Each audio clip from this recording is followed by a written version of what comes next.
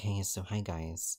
So in this next example, what we're going to do is we're going to go ahead and simplify this complex rational expression, right? So this looks tricky, but you have to take it one step at a time, okay?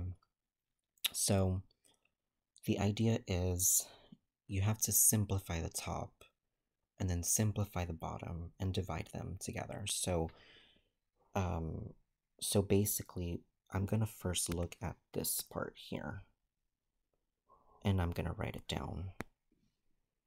So I have a over b minus b over a, right? Using the idea that um, that a over b. So if I have a over b let's let's let's do it this way. If I have a over b plus or minus or let, let's do it this way actually. I'm gonna do u over v plus or minus v over u Is going to be u squared plus or minus v squared over uv, right? Or vu, however you want to put it. So this would be, we're going to do a squared minus b squared over ab. That's what goes in the numerator. So that means that this was going to be a a squared minus b squared over ab and then it's being divided so when you have a when you have a fraction like this this big big fraction means that it's being divided, okay? It is being divided by a plus b over ab.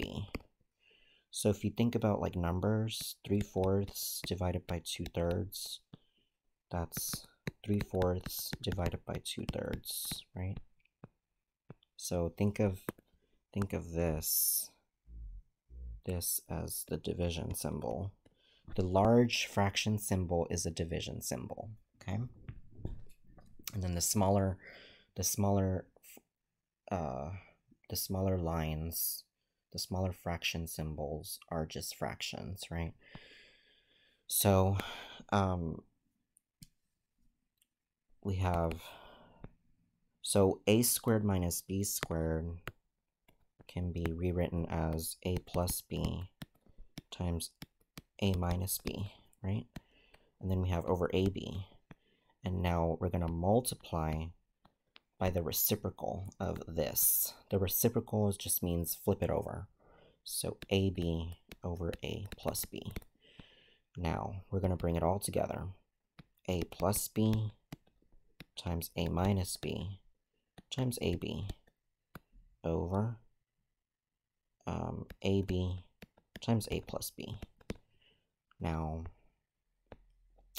this simplifies as, so we have AB cancels out, and A plus B cancels out. So this simplifies as A minus B. And this is your final answer, okay?